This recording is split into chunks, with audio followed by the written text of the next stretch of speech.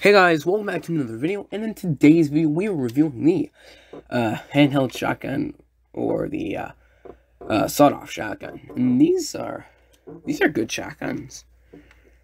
Really nice shotguns. This one, of course, is uh, decaled. I got a gold, you know, on the barrel. Now, these shotguns will cost you 11, I mean, 111 each, which means, you know, 222 for both of them and it'll cost you 222 for both of them, which I just repeated. You have to be a level 19 to uh, buy these guns. And, of course, four shots with both of them, two shots with one of them. You know, pretty simple. Um, overall, these are pretty good shotguns, and they come in handy in a lot of situations. In general, I would recommend you buy these. You only have to be a level 19 to get them, so uh, they're pretty much worth it. Let's head over here and look at the catalog in the catalog so I can show you guys a little thing right here.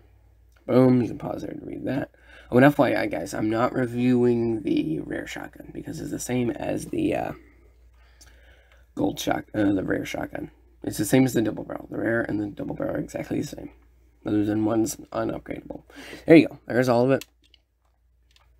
Uh, overall, I would recommend you buy this if you were level 19. It, it has its uses. And in general, I like the gun. Very fast firing when you have all four of them. It's really good to counter slow and steady in defensive mode. So, yeah. If you're thinking about buying this gun, maybe you should.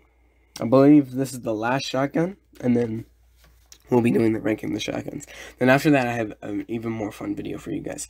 Oh, and down below, comment what your favorite shotgun is. So, uh, yeah. Don't forget to join the club and see you all next time. Goodbye.